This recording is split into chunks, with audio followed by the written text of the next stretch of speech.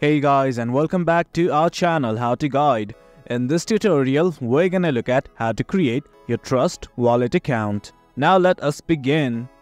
Do note that I have already installed the application in my mobile device. In case you have not, do it right now. Once you open it, you will be redirected to this page. Simply hit on get started right now. Now guys, it's gonna give you two options. If you already have an existing account, click on add existing wallet. Else, if you want to create a new wallet, click on the first option right here.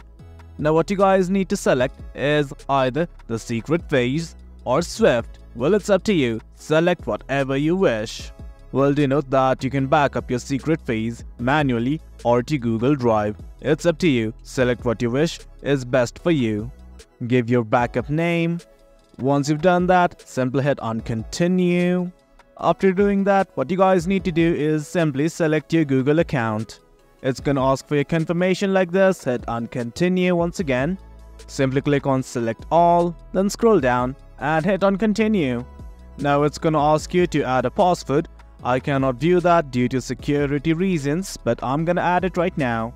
Once you've entered your password, all you have to do is hit on set encryption password. Once again, it's gonna ask you to confirm your password. Denote that I cannot view the screen due to security reasons. Enter your password once again.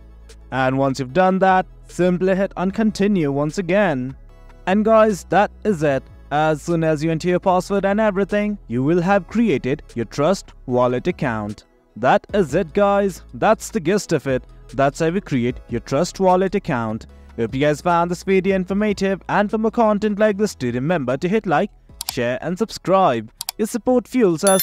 Until next time, thank you.